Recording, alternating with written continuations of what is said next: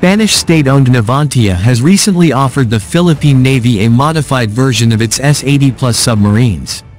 The offer is part of the Philippines' efforts to boost its maritime defense capabilities, especially in the face of tensions in the South China Sea.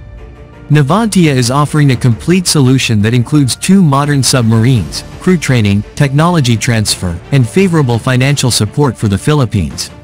The advanced technologies of the S-80 submarines, such as the Air-Independent Propulsion AIP, system, make them highly difficult to detect and ideal for missions such as reconnaissance and anti-submarine warfare. Spanish state-owned Navantia has offered the Philippine Navy a modified version of its S-80 Plus submarines as part of a $1.7 billion deal. The proposal includes two new S-80 class submarines, advanced training for Philippine naval crews, and technology transfer to support the development of the Philippine submarine force. Navantia is also offering favorable financial terms, such as a Spanish sovereign guarantee, which would allow for deferred payment until after the submarines are delivered, which is expected to take about 7 to 8 years. The S-80 Plus class submarines are notable for their advanced air-independent propulsion AIP, system, which allows the submarine to remain submerged for up to 3 weeks without surfacing, greatly reducing its detectability. This makes the submarines a powerful tool for intelligence gathering, sea-to-land attacks and anti-submarine warfare. The submarines are equipped with a range of weapons including torpedoes, anti-ship missiles and can even be configured to launch Tomahawk land attack cruise missiles. The bid is seen as part of a broader effort to boost the Philippines' defense capabilities amid rising tensions in the South China Sea. Spanish shipbuilder Navantia was present at ADAS 2024, although their presence was dwarfed by their South Korean counterparts. Navantia only displayed two models of the vessels, the S-80 diesel-electric submarine and the Avante 2200 patrol boat design.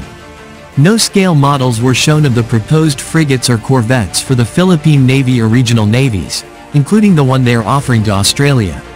Navantia has reportedly shown interest in offering a modified variant of its S-80 submarine design for the Philippine Navy's submarine requirements, although unlike Hanwha Navy and Ocean, it appears Navantia has not made any serious pitches. What is surprising is the presence of the Avante 2200 submarine, given that the Philippine Navy is pursuing new frigates and corvettes rather than patrol vessels. And while the Philippine Coast Guard is interested in additional patrol vessels, multi-role response vessels, the scale model Navantia displayed does not reflect the Coast Guard's proposal. Navantia appears to be represented locally by another company that has made several representations to Navantia, including it pitching Navantia products to the PN. Max Defense Philippines previously reported that top PN brass are indeed interested in Navantia's proposal including a planned relationship with a local shipbuilder to potentially build surface vessels and perform MRO for the PN. Navantia's offer of the S-80 Plus submarine to the Philippines reflects Spain's commitment to helping the country build a strong submarine force. With advanced technology and attractive financial backing, this offer could be a significant strategic opportunity for the Philippines to strengthen its defense in a challenging region. The adoption of these submarines will not only enhance the operational capabilities of the Philippine Navy, but also provide a significant deterrent to threats in the South China Sea.